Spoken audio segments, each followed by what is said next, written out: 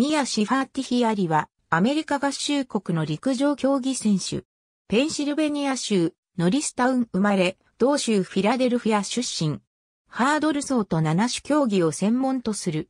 高校時代は2年間を陸上競技に、1年間をバスケットボールソフトボールに捧げた。2006年にナイキ室内アメリカ選手権で大会新記録8秒36を樹立するなどの成績を残した。2007年、テネシー大学に進学、サウスイースタンカンファレンスで7種競技の覇者となった。2008年に南カリフォルニア大学へ転校したが、怪我のため目立った成績を残せず、2009年は NCAA 選手権で7種競技4位に入賞した。2010年は留年のため競技を一時中断。2011年に NCAA 選手権100メートル H に出場。追い風参考記録ながら12秒63をマークした。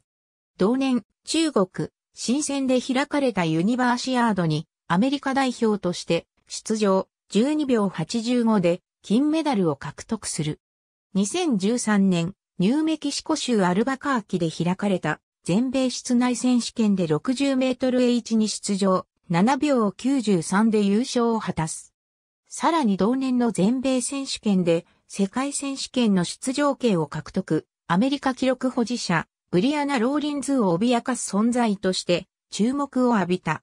その世界選手権では決勝進出はならなかったものの、準決勝10位の成績を収めた。2014年、ポーランドソポトで開催された世界室内選手権で金メダルを獲得する。ロンドンオリンピック金メダリストのサリー・ピアソンやティファニー・ポーターといった強力なライバルを破っての貴重な一勝となり、ピアソンはオーストラリア放送協会の取材に対し、ニアの勝利を称賛するコメントを寄せた。